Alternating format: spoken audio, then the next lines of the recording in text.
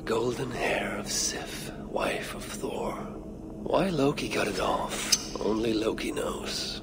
But Thor was less than pleased.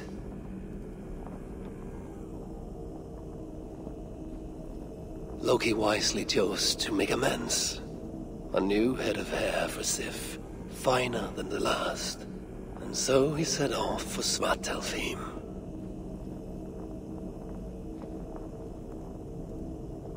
At Loki's request, Ivaldi's sons made for him tresses of the purest gold, which would fix the Sif's scalp and grow as real hair would.